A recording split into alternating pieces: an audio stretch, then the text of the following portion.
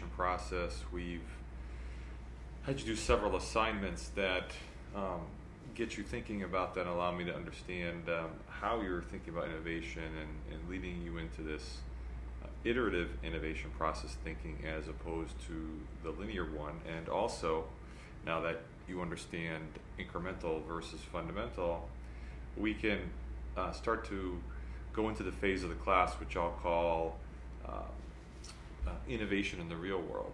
And so, um, first in lecture nine, we'll talk about some examples that you're very familiar with um, Apple, Google, Amazon, Facebook, because there seems to be confusion about thinking of these kinds of examples plus the examples of Intel, Microsoft, or previous industrial age innovation. And um, what I want to show you over the next few lectures is that any historical example or modern example obviously can be um, related to this innovation process we're talking about because innovation process is based, as we've been showing you, on the human process of innovating. How do you um, evolve an idea over time in the context of reality to create a useful embodiment in the marketplace? So in this first lecture nine, we'll go through these uh, familiar companies uh, and use our analysis to show how innovative they are um, or how incremental they are and uh, hopefully uh, give you a great perspective on that. Uh, in particular, we'll start off with Apple, and Apple is very interesting because if you use a standard um, you know, new technology metric in the linear model for uh, Apple, uh, you can't explain its innovation, where if you use our model, you can. So we'll start there.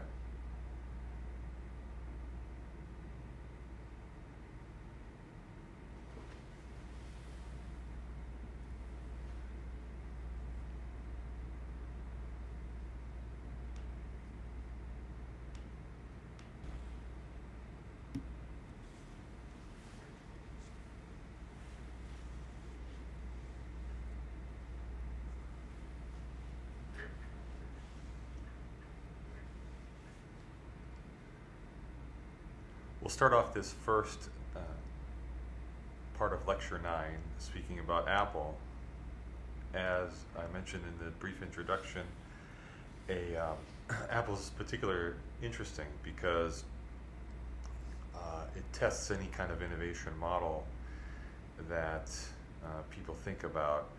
Uh, for example, if you're in the common linear model that we've discussed is incorrect, can you point to the fundamental technology that's really given Apple an advantage? in the answer is no. It certainly uses uh, pieces of new, nah, sort of new technology. Then you've got the group that says, ah, Apple is design. But of course, what is design? In our innovation process, design is the iterative innovation process because at the end, the thing that you have is an embodiment of the intersection of market application, uh, technology, uh, and implementation. And so design is literally uh, innovation in that sense. So uh, let's let's actually look at Apple's products and use our model, and then you'll get to see both why Apple has been more innovative than most companies of late, uh, but not as innovative as companies in the past, and while they'll be susceptible to easy encroachment by Samsung and others.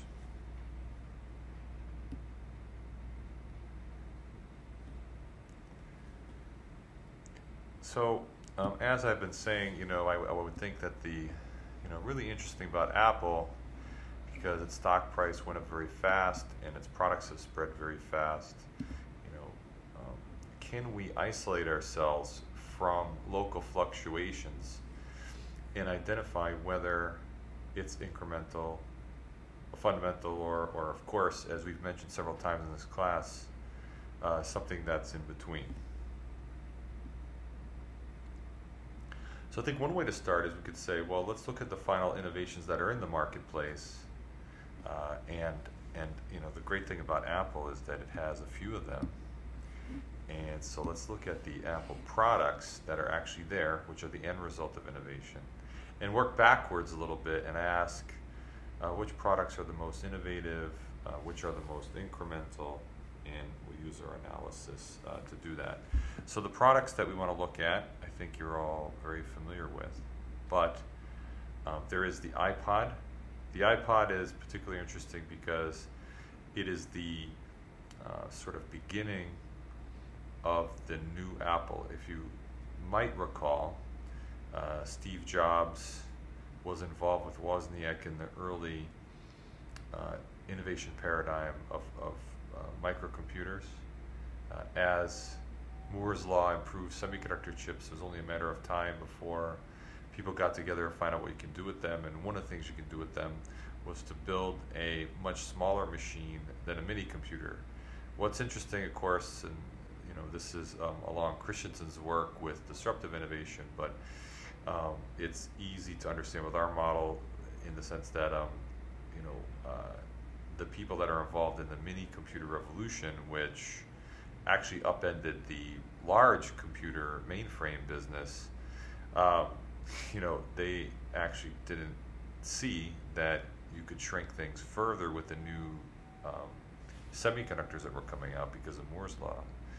Uh, and so, uh, uh, you know, people um, in these clubs in California that were taking new chips and building things eventually converged on, on what we call today the personal computer. The first really commercial version of that was called the Apple II, and the Apple II Plus was the real uh, market winner.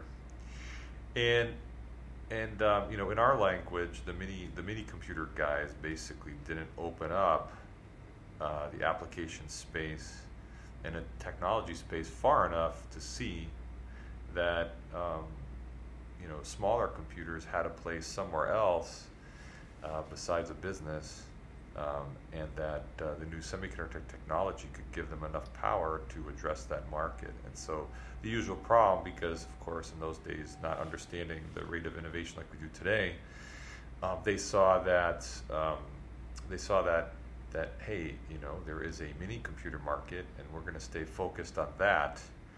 And we know what kinds of semiconductors need to be put in to that mini computer. And even though the semiconductors are getting more and more powerful, that's great. We put so many of them into our mini computers, it makes those more powerful.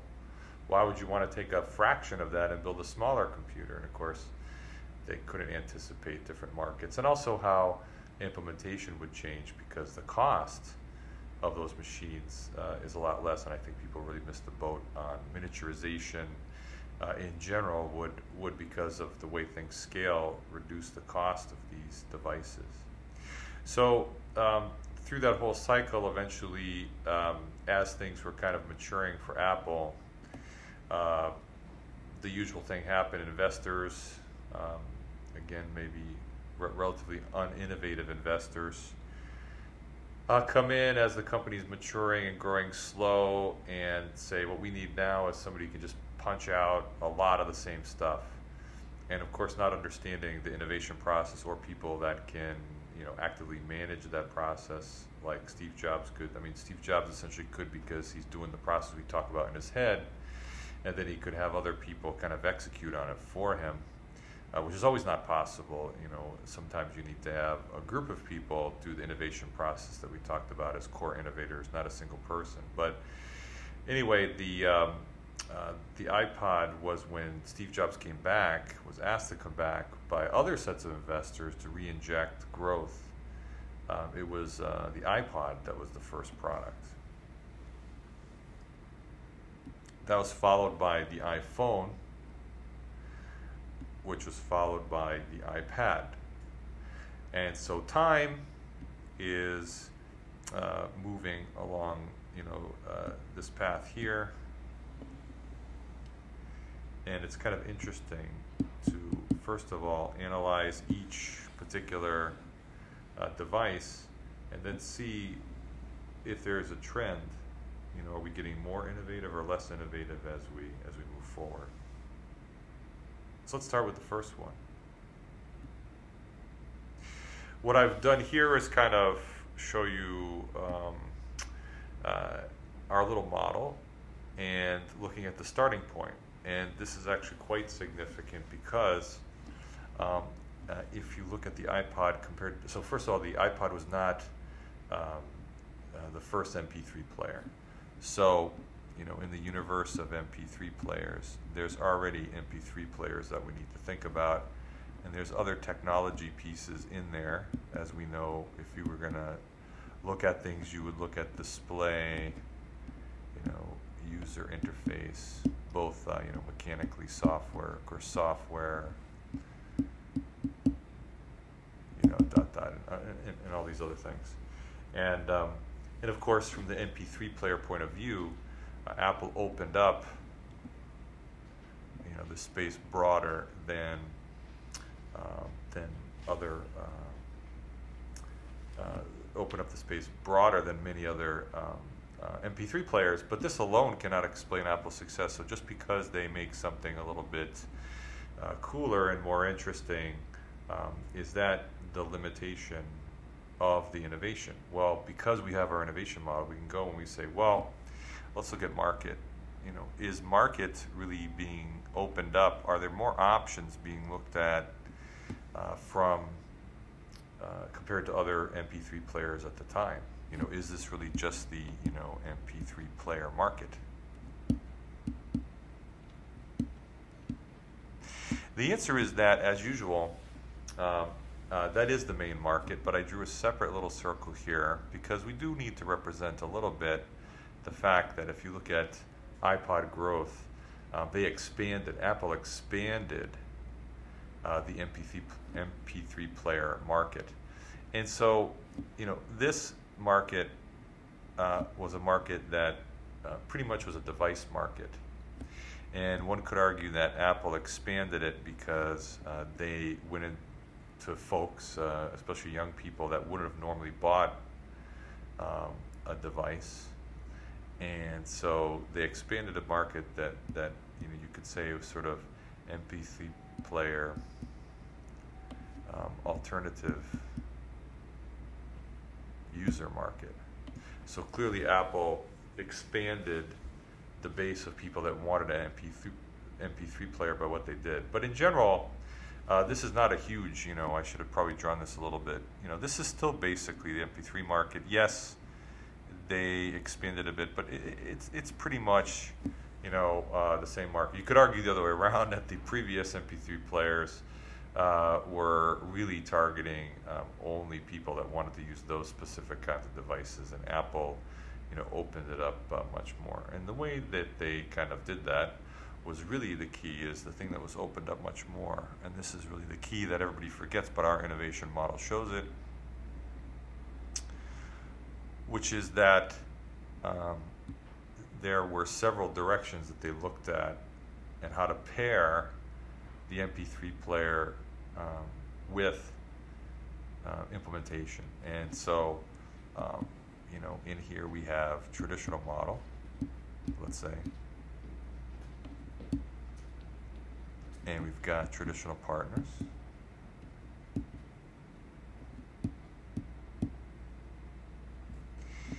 Uh, and we've got um, uh, sort of new partners very importantly, uh, actually getting very close to music industry.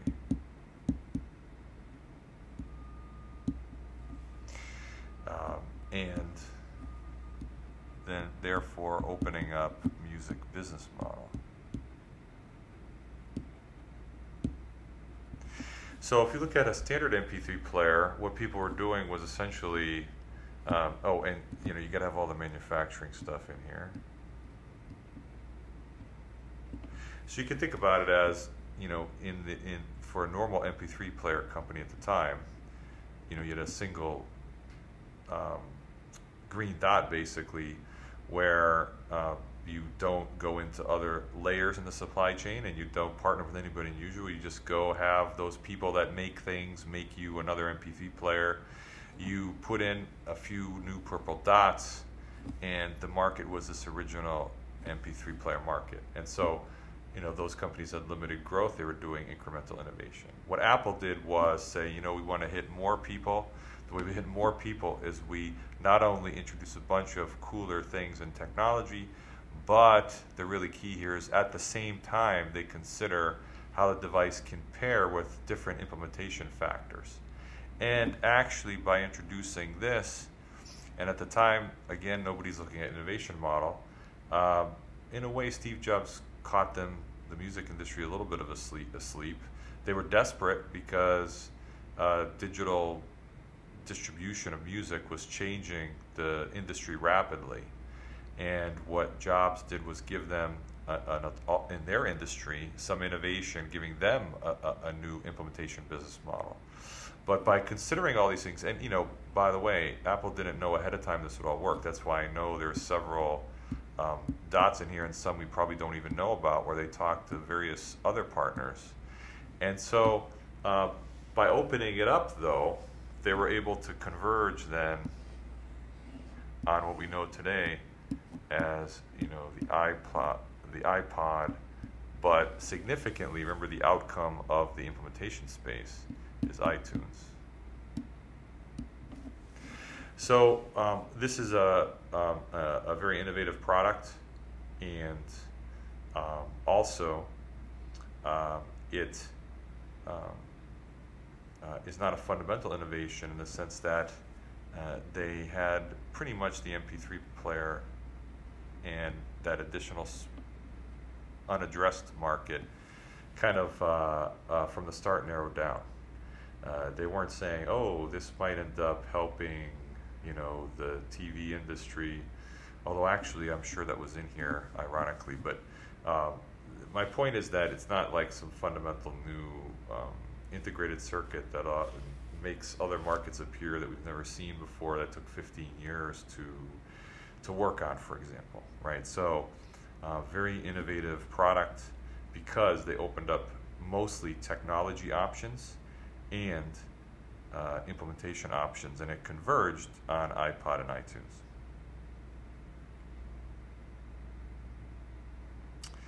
Let's um, uh, pause here, uh, and in the next segment, we'll talk about uh, the uh, the next two products uh, um, that we had mentioned, which are the, um, uh, the iPhone and the iPad.